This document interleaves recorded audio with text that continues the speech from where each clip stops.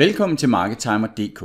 I dagens video vil jeg tage et hurtigt kig på Helge Larsens langsigtede portefølje. Jeg snakker tit med Helge, og jeg ved, der er mange, der spørger ham til, om ikke han vil prøve at lave en opsummering af, hvad han har liggende i sin lange portefølje. Og øh, derfor så øh, har jeg aftalt med ham, at jeg prøver at gennemgå den her i en video. Det jeg vil gøre her, det er også at tage et hurtigt kig på, hvordan jeg ser på den ud fra øh, teknisk analyse. Nu skal det siges, at Helge han bruger jo ikke specielt meget teknisk analyse, når han investerer. Helge kigger rigtig meget på det, der hedder kvalitativ fundamental analyse. Det vil sige, kigger på kvaliteten af produkterne. Er der en fremtid i produkterne? Kvaliteten af ledelsen? Er der tillid til, til ledelsen og, og deres øh, strategiske beslutninger? Osv. osv. og øh, så, og han kigger også på nogle af de fundamentale tal omkring gældsætning og omsætning osv. Så, videre. så øh, ham og jeg ser rimelig forskelligt på øh, vores, øh, de, de kandidater, vi har, men alligevel ender vi tit med faktisk at købe noget af det samme, hvilket er ganske interessant.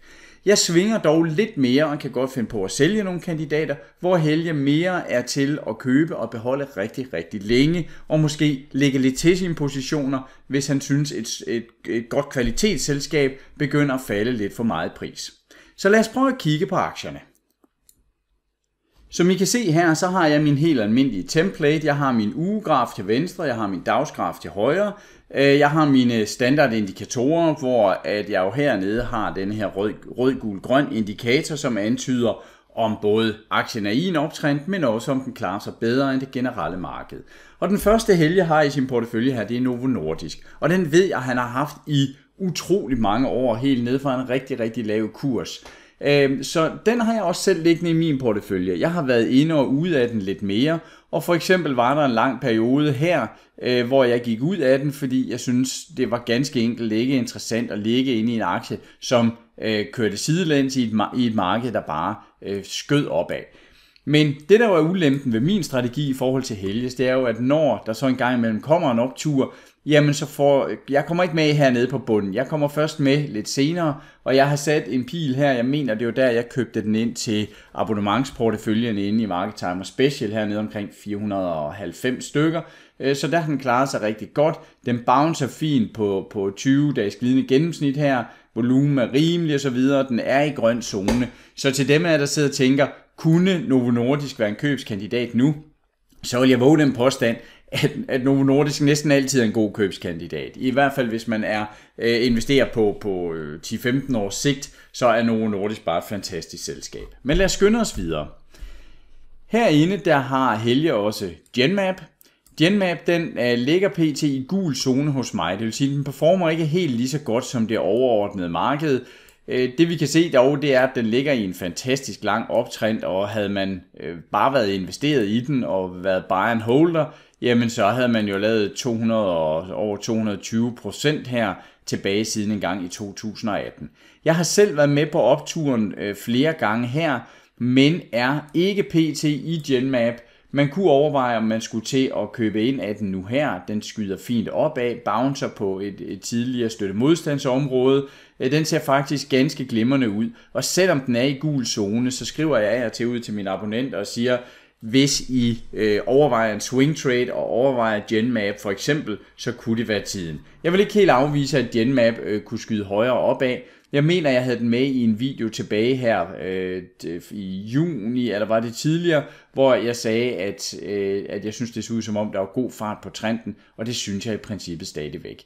Så en, en aktie som Genmap, der skal man jo være klar over, at den en gang imellem lige tager et hug nedad. Nu det her ikke engang så slemt endda, men den har tidligere taget nogle ordentlige stryg nedad, og det skal man bare være klar over, det er en volatil aktie. Næste aktie i Helges øh, langsigtede portefølje, det er Zealand Pharma. Og øh, her kan man jo sige, det er jo, jeg tror, jeg havde med i en af de øh, videoer, en der hed aktier, jeg ikke vil røre. Og det var ganske enkelt, fordi den var i en lang nedadgående trend. Der kan sagtens være alle mulige fundamentale faktorer, der gør, at Zealand Pharma kan blive en kæmpe vinder i løbet af nogle år. Men så længe den er i denne her nedadgående trend, så, så rører jeg den ganske enkelt ikke. Det er en del af min trend following strategi. Men derfor kan man sagtens øh, gå samme vej som Helge, og så sige, at vi tror på casen, vi tror på produkterne, så derfor skal den ligge i porteføljen. Den ligger ikke i min. Så kommer vi til en øh, række aktier, som øh, mange af jer jo ved, Helge han har liggende, og det er inden for laks, øh, fisk og så videre her. Vi har Bakkefrost, som ligger i en rigtig god trend. Den ligger sådan og hopper lidt mellem gul og grøn zone hernede. Personligt kan man sige, at jeg synes måske, den er, den er lidt for volatil, men der er egentlig ikke noget at udsætte på trenden som sådan. Hvis vi trækker en regressionskanal her, så ligger den super fint, og øh, igen, så er det sådan en aktie, som sagtens kan øh, stige og falde en del. Det har også en del med sæsonerne at gøre. Det ved jeg, Helge har lavet en del statistik på, øh, hvilke sæsoner øh, de her lakseaktier, de klarer sig bedst. Men jeg ved, de ligger fast i Helges portefølje, og han har tjent rigtig gode penge på både Frost. Øh, vi kan også tage sådan en som Movi, ligger også i en fantastisk god trend her. Øh, så man kan sige, hvis, hvis man stoler på denne her trend, jamen så ligger for eksempel Movi, den ligger relativt lavt nede i trendkanalen nu her, og kunne sagtens skyde videre opad. Og der er også øh, Salmar, som, øh, som ligger super flot. Kan vi lige prøve at trække trendkanalen helt ud her. Den ligger også rigtig fint i trendkanalen. Og hvis man siger, jamen det her det er en sæson for øh, laks og fisk, vi skal videre opad, jamen så kunne Salmar øh, være en, en kandidat, man skal købe lige nu her. Øh, jeg er ikke selv inde i nogle af de her tre. Jeg har været inde i Austerfold Seafood, som også er en af dem, jeg ved, Helge han snakker lidt om. Øh, men PT er jeg altså ikke i, øh, i noget laks overhovedet. Men man kunne sagtens overveje som en langsigtet øh, position at tage dem her. Noget af det, jeg nogle gange gør, når jeg sidder og kigger på de her, er, at jeg siger, jamen, når vi kigger på trendkanalen her, så har vi her et kvartal fra januar til, nu skal vi se en gang, til slut marts her, så tager jeg min, øh, min måler herude, hvor jeg måler procenter, og så ser jeg på regressionslinjen, og så siger jeg, ud til slut marts her, øh, der omkring, der har vi altså en trendkanalstigning, der hedder 8% i kvartalet. Det er slet ikke en dramatisk og fuldstændig uholdbar øh, trendstigning, Øh, og 8% i kvartalet tror jeg, at de fleste af os ville synes, der faktisk var aldeles glimrende. Så tror man på, for eksempel Salmar bliver liggende inden for den her trendkanal, og trendkanalen stiger med 8% i kvartalet, jamen så er det jo bare at hugge til nu. Lige pt. ligger den under 20 SMA, og jeg synes, den begynder at vise lidt svaghedstegn. Jeg går ikke selv personligt ind i den nu her, men igen, husk på altid at sammenligne jeres egen portefølje, jeres egen strategi øh, med, med folk, som har lignende tilgange. Så hvis I er meget langsigtet, så lad være med at lytte til, når jeg sidder og siger, at jeg ikke vil gå ind i den, fordi det er slet ikke sikkert, at vi handler på samme tidsrammer. så hopper vi videre, og her når vi til Equinor. Equinor ligger ligeledes i en rigtig god trend. Helge har fat i nogle super gode kandidater her, som han jo, når han har holdt dem i år, har lavet nogle fantastiske afkast på. Igen har vi en aktie, hvor vi siger, at lige pt. vil jeg ikke gå ind i den. Jeg synes personligt, at jeg kan finde nogle bedre trendkandidater.